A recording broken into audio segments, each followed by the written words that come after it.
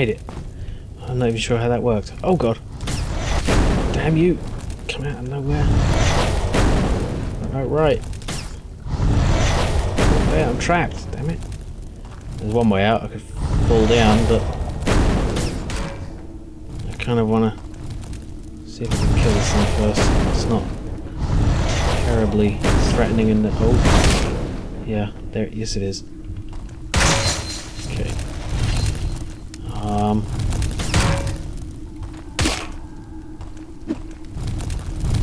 Sidestep and kill.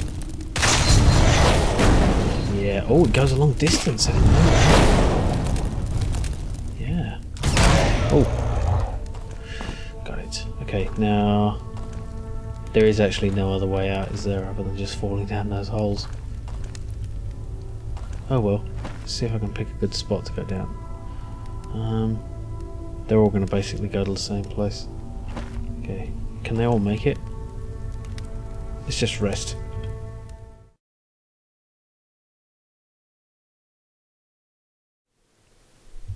That'll do. Cleric's getting hungry. Eat a maggot. Yeah. Yummy maggot. Okay.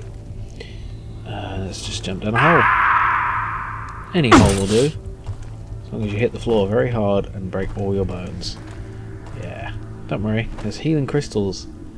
Uh, this way. Right. So, the place to go now. Now, I think uh, there's this big hole here. I wonder where that leads to or from. Hmm. Wait a minute, there's something missing. I haven't seen down here. Must find all the secrets. All the. Oh. I have gone down here, haven't I? Let's see if I can. Oh, yeah. Nice, I do have an ice projectile. A very ice projectile. Isn't that ice? I should be using my fireball on this though. This is more effective. Like that. It's getting to that point again where uh, the enemy that scared me before is no longer scaring me. Which means that the next level is going to include something super scary. But I'll be ready for it. I'll be calm and composed and this thing oh I know this is uh, this is gonna kill me isn't it okay let's just quickly run through there ow Away there. Alright now I've got that sword. Let's see how good it actually is. Attack power 14 well, you know, it's so it's so much less powerful because yeah, it's a shame. I guess I could have Steel use it. Yeah, yeah, he can use it as a frontline weapon if uh, if it comes to it, because it's still actually um, not much uh, different than his uh, dagger. Bloody hell, that thing won't shut up, will it? Stop belching at me. Right, have I been down here? Let's see. There to... Hmm, maybe I haven't. Uh, let's just jump. No, I have. Okay, sod that. Right, so the only place to go now is out of here. To the next horrible thing. Where is it? I'm sure there's going to be more of those um, big ogre bastards. I only had to deal with one here, didn't I? There'd be a whole load of them. Um, yeah. Let's do that. There we go. Nice and recharged. One more key. There's this gold key. Where that goes. Oh. That's annoying. Oh, I wonder where the key to this is. It's one of these special doors that I know has something awesome behind it. Oh, what's this? Treasure store. Oh god. Look at their faces. It's like tentacle Cthulhu shit. Oh, wait, wait, wait. There. Look. Stuff. And things. What's that? Is that a crossbow? a book? I guess I have to choose. What's all that? That's a bunch of missile weapons and potion stuff. Okay. I don't want that. So it's a choice between a crossbow and a book. Hmm. What do you think? I'd go with the thing that lets you have the most fun with your tentacles. Uh, yeah, okay. Um, hmm. So, hmm, I don't have many crossbow quarrels though, so it's not too useful to have that, I don't think. Besides, there may be another crossbow coming. I want to see what this book does. Tome of Fire. Oh, I like the sound of that. Gain fire magic plus 3 and resist fire 10. Yeah. That's the stuff. she gained resist fire twice from the gained uh, fire magic and from just having it. So let's see, what's the resist fire at this point? 63. Wicked. Okay. Alright. That was cool. You get to actually choose your destiny, or indeed your treasure. But damn it, there's no... Where could that be? Probably something to do with around here. I just, I just don't... Oh. A, mm. I'm gonna go another little quick look around here.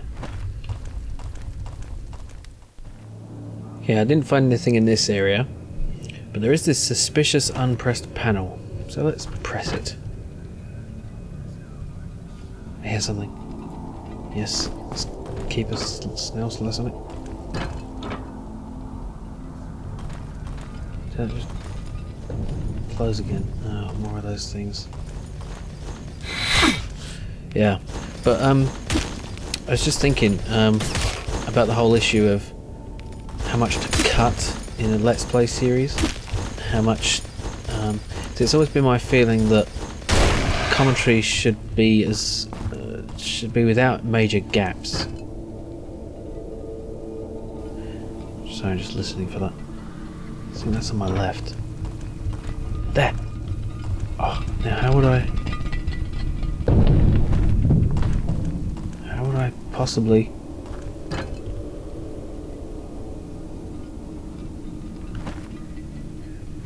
for it to fully open and then try to run for it. There's no way. Maybe I can get one of the... Uh, I don't think there's anything I can put on that's heavy enough.